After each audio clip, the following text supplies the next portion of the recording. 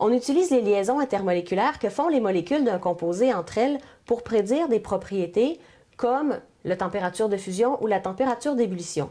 Ces deux propriétés-là euh, se, prédisent avec la même procédure et on va appliquer cette procédure-là aujourd'hui pour classer en ordre croissant de température d'ébullition trois composés dont la structure moléculaire des molécules est représentée sur le tableau ici.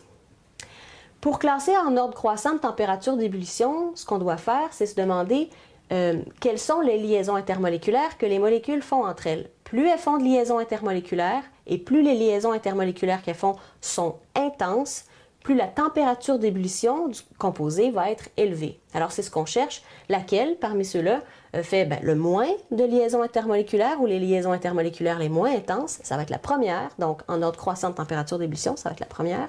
La deuxième, ça va être la mitoyenne. Et le troisième composé va être celui qui va faire les liaisons intermoléculaires les plus intenses et les plus nombreuses. Alors on va commencer par analyser les trois, les trois situations. La première molécule, bon, les trois types de liaisons intermoléculaires, on les euh, analyse l'un après l'autre. Le premier type, les forces de dispersion de London. Est-ce que la molécule ici, c'est une molécule d'éthane-nitrile? Est-ce que les molécules d'éthane-nitrile font des forces de dispersion de London entre elles? Euh, oui, parce que toutes les molécules, peu importe leur structure, font des forces de dispersion de London. Alors, je peux écrire que oui.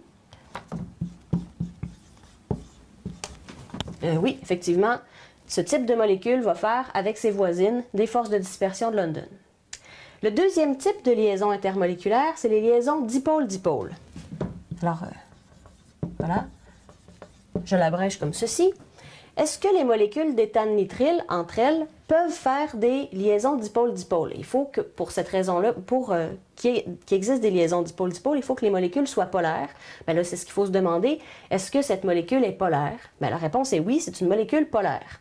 Pourquoi est-ce qu'elle est polaire? C'est qu'il y a une différence d'électronégativité très grande entre deux atomes qui sont liés de façon covalente. Ici, l'atome de carbone qui est sous-entendu et l'atome d'azote qui est très électronégatif comparativement au carbone. Donc, il existe un vecteur de moment dipolaire ici qui n'est pas contrebalancé par un autre vecteur.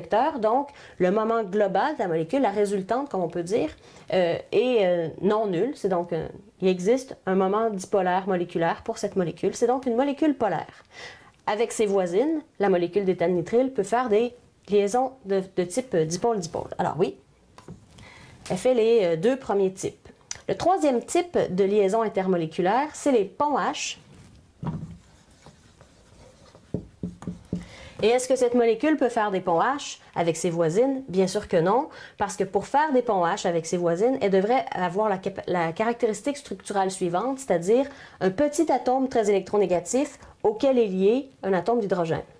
Il y a la première condition, c'est-à-dire avoir un petit atome très électronégatif, l'azote en est un, mais l'azote n'est pas lié à un hydrogène. Euh, il n'y a pas de H sur le N. Donc euh, non, pas de pont H. D'accord? C'est bien, on a traité les trois types de liaisons intermoléculaires pour le premier composé. Maintenant, le composé suivant, le 2,3-diméthylbutane. Euh, est-ce que cette molécule peut faire avec ses voisines des forces de dispersion de London? Bien sûr que oui, aucune condition nécessaire. Est-ce qu'elle peut faire des liaisons dipôle-dipôle? Eh bien, il faudrait qu'elle soit polaire. Et les hydrocarbures ne sont jamais polaires. C'est un hydrocarbure, alors non. Est-ce qu'elle peut faire des ponts H? Mais pauvre elle, non. Il n'y a pas de petit atome très électronégatif auquel éventuellement serait lié un H. Il n'y a pas de petit atome très électronégatif. Il n'y a que des carbones et des hydrogènes qui ne sont pas considérés comme des atomes très électronégatifs. Donc, non, celle-là non plus ne fait pas de pont H. Le troisième composé, l'hexane, bon, les forces de dispersion de London, oui. Les dipôles-dipôles, non. Pour les mêmes raisons hein, que la précédente. Les ponts H, non plus, puisque c'est un hydrocarbure, pas de liaison hydrogène. Alors, euh, ben, on peut déjà euh, distinguer assez facilement que euh, le composé éthane-nitrile va être celui qui fait le plus de liaisons, intermoléculaires parce qu'il en fait de deux types, des forces de London, mais aussi des liaisons dipôle-dipôle. Donc, on peut dire, si on veut classer ça en ordre croissant de température d'ébullition, celle-ci qui en fait le plus de liaisons intermoléculaires va être la dernière. Donc, ça va être en troisième place, on peut dire, puisque c'est en ordre croissant. On veut mettre celle qui a le plus de liaisons intermoléculaires à la fin de notre classement. Mais pour distinguer maintenant ces deux hydrocarbures qui, euh, somme toute, font que des forces de London tous les deux, on va devoir se questionner sur l'intensité des forces de London. Alors attention, ici, c'est une subtilité que vous n'avez peut-être pas vue dans vos cours précédents. Les deux composés ici, si vous regardiez leur formule moléculaire, ben, ils ont la même formule moléculaire, c'est-à-dire euh, C6H14. Tous les deux ont exactement la même masse molaire, donc on ne pourrait pas les distinguer de cette façon-là. Souvent, on distingue pour les forces de London avec la masse, mais ici, ils ont la même masse et pourtant des températures d'ébullition différentes. Alors, qu'est-ce qui peut l'expliquer? Euh, c'est que c'est la, la, la, surface de contact qui explique les forces de London, et il y en a une des deux qui a une surface de contact plus grande que l'autre. C'est-à-dire qu'il y a une molécule que si on imaginait la surface de la molécule, elle aurait une plus grande surface, alors que l'autre aurait une surface plus, euh, plus petite parce que la molécule serait plus proche d'une sphère. Ben, vous voyez les, les, gestes que je fais. Une qui est plus allongée, sa surface de contact serait plus grande, et une plus, euh, on pourrait dire ramifiée, une molécule plus ramassée sur elle-même, sa surface de contact serait plus petite. Alors bien entendu, euh, c'est bien cela, la surface moléculaire de l'hexane est plus grande parce que c'est une molécule plus allongée, comparativement à la surface moléculaire du 2,3-diméthylbutane qui est plus petite, sa surface moléculaire est plus petite. Ce que ça veut dire, c'est que celle-ci fait des forces de, dispersion de London, oui, mais elle en fait des moins intenses que l'hexane. Alors on pourrait dire euh, petite et ici grande. Il y a une analogie fantastique avec ça dans votre manuel, vous pourrez aller la consulter, c'est l'analogie des blocs de Tetris. Je m'embarque pas là-dedans, mais vous allez comprendre. Alors, la surface de contact plus grande fait des forces de dispersion de London plus grandes.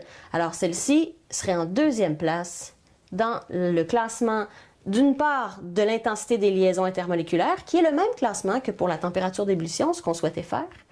Et la première place vient à euh, le 2,3-diméthylbutane.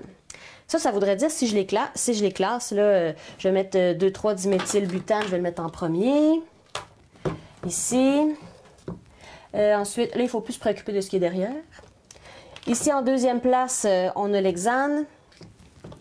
Et en troisième place, euh, l'éthane nitrile. Ça serait dans cet ordre-là. Puis là, ben, j'ai pris la peine de vérifier dans des, dans des livres pour savoir quelle était en réalité leur température d'ébullition. Et voilà. Ici, pour le 2,3-diméthylbutane, qui est supposé avoir la température d'ébullition la plus faible, on a une valeur de 58. C'est une valeur expérimentale, une valeur de référence. Pour l'hexane, le suspense est complet. Alors pour l'hexane, on a une température d'ébullition de 69 degrés, donc un peu plus gros, c'est ce qu'on s'attendait. Et l'éthane nitrile, finalement, qu'on appelle aussi acétonitrile, qui est un solvant que vous aurez peut-être l'occasion d'utiliser au laboratoire. Température d'ébullition de 81, donc notre classement fonctionne, c'est-à-dire qu'elles sont effectivement classées en ordre croissant de température d'ébullition.